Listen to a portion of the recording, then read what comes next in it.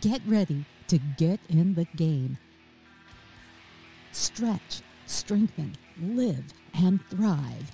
You can be a winning athlete in the game of life. It's the Peale Appeal with author and corrective exercise specialist Matt Peale. Hey, this is Matt Peale with the Peale Appeal podcast. And once again, we're privileged to talk science and facts from all the way across the big pond with uh, physio expert John Rutherford, who is uh, joining us from his home this time, I think uh, just outside London. And we wanted to talk about how exercise can help you with stress levels and what stress does for you from a postural standpoint and a physical health standpoint. We, I'm sure you're well aware about the mental health side, but what does it do from a physical health side? So thanks for joining me uh, today, John. Oh, you're welcome, Matt. I'm glad to join you. Yeah. Friday evening in New Orleans, late in London. Yes, as we record this, absolutely, mm-hmm. absolutely. So always a pleasure. Yeah, I, I, thank you. I love doing this. This is a, it's so much fun to uh, get to talk um, with Zoom across the uh, across the world. Really. Yeah, and as I think you know, as you said, it's probably nice in New Orleans. It's still winter here, but never mind. Right, right. Yeah, it definitely is. It's uh warming up, warming up. Good. So obviously you see a lot of patients on a daily basis. You know, we'll go with that, not necessarily on the, the sports side. And just the fatigue that stress causes people and various stresses, life stresses, you're you're late for work, you forgot your socks, whatever it may be, types of things. Um, and especially as we're sitting and more, you know, leaning into our screens and the fatigue. So kind of tell us what do you see with patients that um, that stress has, has done? We were talking a little bit beforehand about the fatigue and about the sleep and, and, and what does that cause uh, people? So I think with a lot of people I see, Matt, people usually come to me with pain, joint pain, back pain, neck pain. Mm-hmm. They don't tend to come to me if they they feel their body balance is wrong or they've got headaches or they just feel anxious. Mm-hmm. But a lot of these are connected um, to posture. So I will see a lot of patients who whose posture is bad. They sit hunched at the computer. They have stressful lives. As a consequence of this, their body alignment is altered, and from that situation, it impacts on their general health. Uh, the primary things I see um, apart from the obvious, which is an impact on the immune system, which is a whole different subject. We obviously can't go into it now, but it's a massive subject um, as to how stress affects the immune system. The primary things I see are um, anxiety, fatigue, and poor sleep. And these are these are common presentations when the body alignment is wrong. Hmm. That stems from like what part we, of body alignment? Are we talking from the the, the shoulders, the trunk, and then the hips? What what kind of area? The head?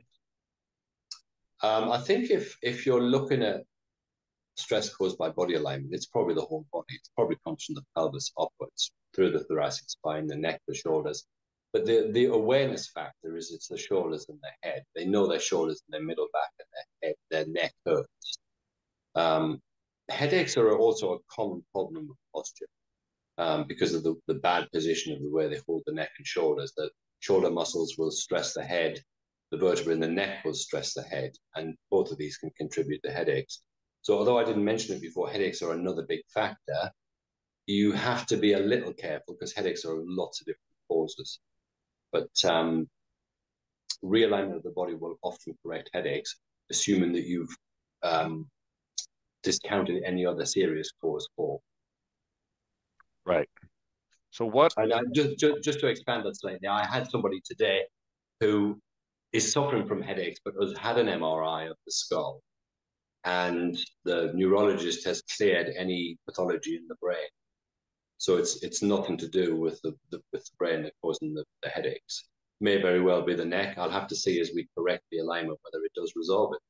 Headaches can be food related, um, very commonly, or sometimes through migraines, nobody quite knows what causes them. Yes, I know stress is, you know, triggers migraines, and and whether it's subconscious, you know, a subconscious trigger or conscious trigger. Uh, and, and that, that's a kind of a different subject. Yeah, in, in that regard. And I think there's but, a big, I think there probably is a big factor in migraines with with alteration in blood flow again, which can be to do with body alignment. If you're holding your body parts in the wrong place, it probably is going to interfere with the blood flow. And blood flow is related, altered blood flow is related to migraines. It's one of the factors. True, true. So what? How would you treat? And I know with last we talked about you know forward head position. We know that forward head position also contributes to tension headaches and migraines. Um, so how would you treat someone who with say alter with with the head and shoulders, uh, and maybe some forward head position, to alleviate the stress of that can uh, be caused from headaches? What what would you do, or how would you assess them? So my evaluation is, is, is based on um, is a subjective first. You take their history, you ask them. I always look to see what primary. I ask them what it is I can help them with, because sometimes they'll give various. You know, I'm in pain. I've got this. I've got that. But primarily find out what it is that concerns them the most. Is it the pain? Is it the tiredness? Is it the sleep problem? And then full assessment: pelvis, spine, neck, um, joint alignment, um, the posture, obviously, how they stand, how they sit, head position, shoulder position, and then um, muscle tensions. Prime cause of uh, pain in the head, neck, shoulders, and back is alteration in the, especially the trapezium, um, latissimus, scalene muscles of the neck. All these things can cause headaches um, and, and can impact on the person's sense of well-being. And and it's a it's a very common problem um, if you ask the right questions that somebody will say i'm not really in pain but i can feel my body's not in the right place. And that's mm. something i see a lot partly as i say because i ask the right questions. But it's a very common problem. So this, this, this obviously contributes greatly to, to the way they feel and as an example of a lady i saw today i saw her i see her intermittently she's got a stressful life. She's studying. She's she's got problems, family problems, and this and that and the other. Um, I saw her today after I saw her last week. She looked so much better today. Tension out of her face. She felt better. She's sleeping better. So this is often the hidden thing that you see with somebody with posture. It's not pain. It's their general health. All wow. the things we've discussed: stress, anxiety, um, breathing, fatigue. And sleep. and that's not the I would say the average American, at least maybe even even there um, in, in the UK, that's not what they're going to think is the cause of their issues. That posture is so um, so much a part of their general well-being. Uh, they they're looking for a medication, maybe a prescription. There's something I can just take a, a pill, or uh, maybe it's it's the stress, just the emotional aspect of what's going on in life, which is a part of it. But their posture and how they're their body aligns is such a crucial piece of that but yet they're not thinking about it and and I, I would say we as even a kind of a, a the medical community um, even discusses it. it it's it's more of maybe you need counseling well no you just need to stand up a little straighter right and let's work on some exercises and some stretching and some strengthening yeah it makes a big difference i've done it for many years it's not well recognized in the medical community here either um, other things are always considered medication, counselor, um, psychologist be, before. Mm-hmm. mm-hmm. But the, the, the body alignment has a massive effect on this. Absolutely, it does. Wow. I mean, that's uh, even for me, I, I deal with a lot of people, as you, you know, too, um, who are going through it. And dealing with a guy right now who's probably needs to drop a good a good 50 pounds, um, young guy in his uh, late 20s. So we're working on obviously weight loss, changing his nutritional habits, uh, body alignment because he's sitting at a desk. He's, you know, looking into a screen for hours and hours every day.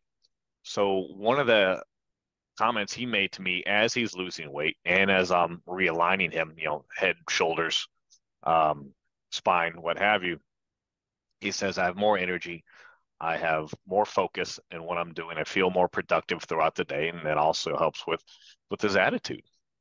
Yes, and they, they, they will very. You'll see this as you as you understand about body position and stress and how it impacts on health. They will tell you because a lot of people, first of all, they don't go to their doctor and say, "My body's not light." they don't feel right, but they don't go for that. They go because they're in pain. They don't really come to me so much and say, My body's not balanced. They'd only come if they're in pain. A lot of people, if they were aware of their symptoms, and obviously you have to be careful with the medical situation because other things can, I'm very careful in how I assess. I don't assume it's posture. I'm looking at all the different possibilities it could be. I ask about stomach, I ask about gynecology, I ask about the inflammatory uh, markers, I ask about headaches, you know, do we need scans? Do we need bloods? I'm, I'm very big on asking for blood tests because it will often show up imbalances. Vitamin D, the B vitamins, iron, calcium. These are very common things. So do a blood screen and do a blood screen for inflammation. If you've done all of these things and you can't find anything, because a lot of people will come to me and say, well, they've done my scans and they've done my bloods and they tell me nothing's wrong. Well, nothing's wrong on the tests, but the body alignment's a complete mess. Hmm. Yeah. And it's often not looked for, and the patient doesn't understand how to how to portray it to the practitioner. If you ask the right questions, you'll find out where the answers are. That's so true. And a lot of it, a lot, a lot of things life. You got to ask the right questions. You're asking you the, the, wrong right questions, you're you're, you're not going to get the, the right questions solved. and listen to the answers, and you'll get the solution. I have I have a belief that a lot of patients will tell you the solution if you ask the right questions, they'll tell you where the solution is in many cases. That comes yeah. from many years of practice and, and assessments. True, so, true. Um, you have to learn that. Correct. You got to yeah. learn what the right questions are. Learn to ask the right questions because they will, you know, they'll say, "Oh, I think it's my stomach. I think it's gynecology. I think it's headaches." You know, they will point you in that direction what you have to avoid doing is, is, is asking questions to which you preconceive the answer. You should mm. be you should be trying to disprove what you think it is, not prove it.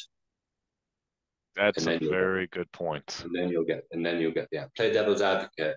If if if all the questions, if you can't disprove with all the questions you've asked, then you've probably got the right answer. That's that's a great point. That's a very good point, and I don't, I don't think that's done enough. And, you know what you just said. Yeah, I would agree. I think I think certain branches of medicine do. I don't know about in the US um, how they approach this. I know here there are certain places it's lacking, but I think it's very important with the patient because they don't know what to tell you. If they're not in pain, they don't know how to explain. Well, I'm not level, or I'm anxious, or I'm not sleeping. Mm-hmm. They don't really know how to portray that because you don't go to a doctor and say, no, my body's not aligned. Nobody does that. No, nobody does. no, nobody, nobody does. does no, you either go because you don't feel well or because you're in pain. There's only two reasons. Yeah, it's true. Even if they when they come see me on the fitness side, they're not saying I my my body's out of alignment, and I can tell, but that's not why they're coming to me. You know, they're coming to me to lose weight, um, mostly lose weight, maybe get stronger, because they, they need it or uh, their balance is off. But they're not coming to me to say, hey, I feel like my, my body's out of alignment. No. Until we go through assessments and then point things out to them, and then they go, oh, yeah. Yeah, it's it's it's just it's it's just you know, people are only aware of so many things. You you you you've got to press and probe until you find the right answers. Yeah, very true. Very true. Well, John, I appreciate you spending some time uh, with me today. Oh, and, I mean, it's a massive subject. We could we could expand on this. And and we will, we will. We'll do some more over, uh, you know, maybe once a quarter or so, and and expand a little bit more on it, and shed this light onto the listeners that there are other things out there, other ways to help them besides just medication uh, all the well, time. Well, and, medication and psychology, in psychology or counseling is what they always look at. But a lot yes. of people will get better with just the physical medical medicine approach. Right. Exercise, Exercise prescription. Yeah. It is. It's yeah. not. It's not. It's not really considered by the medical profession as a primary approach, but it it it can bear massive results. True. True. Well, then we will talk about that another time, and I appreciate uh, you joining me uh, late from from England today. Pleasure. So until next time, yeah, this is Matt Peale with the Peale Appeal, and I will talk to you later. Are you ready to get in the game? Get personal help, sign up for our newsletter, and pick up your copy of Athlete in the Game of Life, the book, all at mattpeale.com. Thanks for listening.